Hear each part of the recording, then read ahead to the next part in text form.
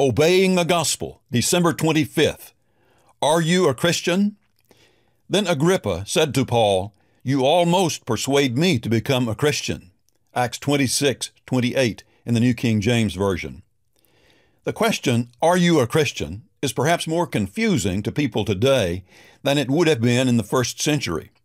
But when Agrippa said, You almost persuade me to become a Christian, he knew what a Christian was.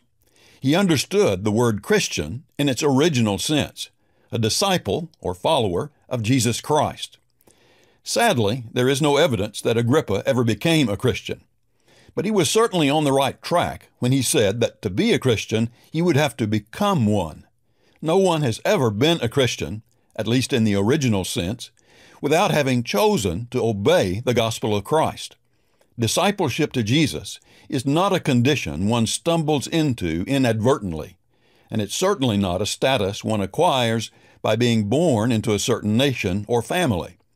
To the contrary, it is a relationship to God one chooses to accept, and then it is a way of life one decides to pursue.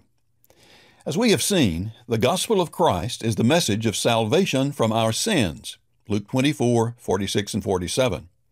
It is for the penitent, Matthew 4, verse 17, those who have come to see the seriousness of their betrayal of their Father, and who mourn, Matthew 5, 4, and hunger and thirst for righteousness, Matthew 5, 6. In their sorrow, they embrace the good news of the forgiveness that is offered in Christ. Believing that He is indeed the Savior, they are willing to openly confess what they believe about Him. Romans 10, 9 and 10, and they are eager to be baptized into Christ, so that their sins might be forgiven. Acts 2:38. And for the rest of their lives, they live in newness of life. Romans 6 verse 4, looking forward to Christ's return and their life in eternity with God. 2 Peter 3 10 through 13 and 1 John 3 2 and 3.